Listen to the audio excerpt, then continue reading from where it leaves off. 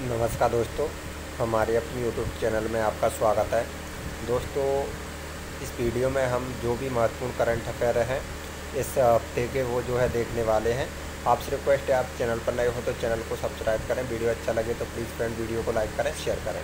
दोस्तों, हमारा पहला क्वेश्चन है, हाल ही में प्रधानमंत्री किस देश की यात्रा पर गए हैं?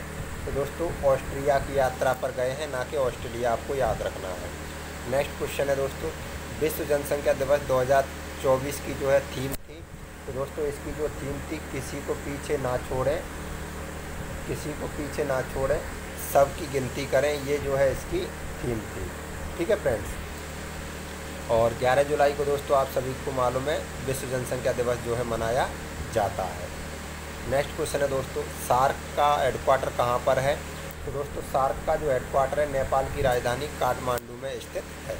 ठीक है दोस्तों?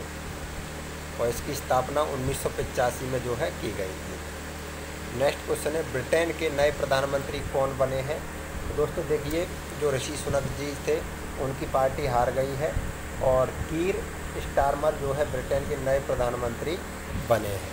ठीक है दोस्तों? नेक्स्ट क्वेश्चन है आ, क्रिकेट टीम इंडिया के जो है हेड कोच कौन बने हैं? तो दोस्तों गौतम गंभीर जी इंडियन क्रिकेट टीम के जो है हेड कोच बने हैं। इससे पहले दोस्तों जो है राहुल द्रविड़ जी थे, जिनके नेतृत्व में भारत ने टी ट्वेंटी वर्ल्ड कप जीता है, साउथ अफ्रीका को हरा हराकर। नेक्स्ट दोस्तों इमरजेंसी कब लगी थी?